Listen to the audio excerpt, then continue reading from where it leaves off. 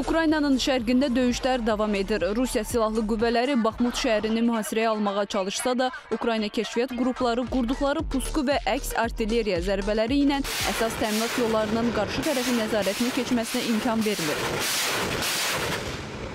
Ordunun Şərq cəbhəsinin rəsmi nümayəndəsi Sergey Çerevatının sözlərinə görə Baxmutda müqaviməti davam etdirən hərbiçilərə ərzaq, dərman və silah-sursat vaxtında çatdırılır. Yaralılar daha təhlükəsiz ərazilərə təxliyə olunur.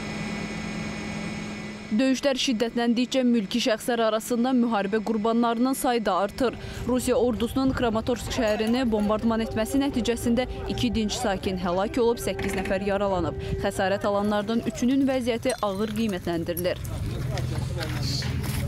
Hücumlarda ona da yaşayış binasına ziyan dəyib. Çoxlu sayda avtomobil yararsız vəziyyətə düşüb. Qərbin Ukraynaya hərbi yardımları isə davam edir. Bir gün əvvəl bu ölkəyə Leopard 2 tankları göndərdiyini açıqlayan Kanada Müdafiə Nazirliyi Ukrayna üçün zirehli transportyorlar da tədarük edib. Müdafiə naziri Anita Anand Bergpanzer 3 texnikanın Ukrayna yük təyyarəsinə yükləndiyini əks etdirən görüntüləri paylaşıb. Bu arada Rusiya prezidenti Vladimir Putin müharibənin gedişatında ölkəsinin nəzarətinə keçən Mariupol şəhərinə səfər edib.